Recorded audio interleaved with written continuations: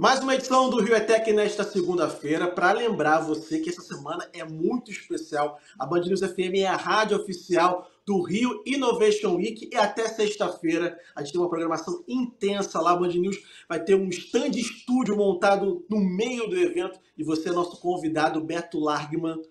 Quantas pessoas são esperadas nesse evento que é considerado o maior de inovação do Brasil e podemos falar até que do mundo, né, Beto?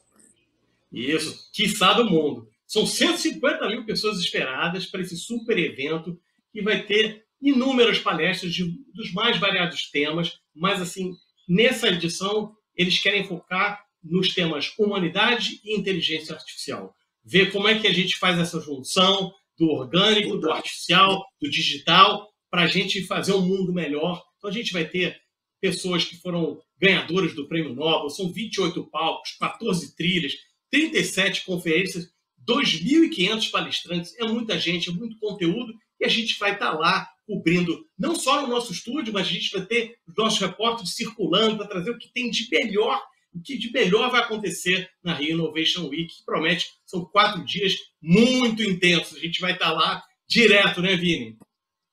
Exatamente, Beto. E ó, Praça Mauá, então, até sexta-feira, começa amanhã, terça-feira, até sexta-feira. E amanhã nós teremos as edições especiais do jornal Band News Rio, primeira edição, com Vinícius Donola, Agatha Meirelles e Rodolfo Schneider. Na sequência, todo o Rio com Carlos Andreas e Cristiano Pinho. E ao meio-dia nós temos um fórum especial, eu, Vinícius Fernandes, Beto Largman e Luana Bernatti, para tratar desses assuntos de tecnologia e inovação direto do Innovation Week. Então você é o nosso convidado. Se você estiver passando pelo evento, você dá uma passadinha, dá um tchau pra gente e a gente está lá te esperando, né, Beto? Isso aí. Imperdível. Não pode perder. E acompanhe com a gente. Band News FM. Termina essa edição do Rio Etec. A gente volta na próxima semana.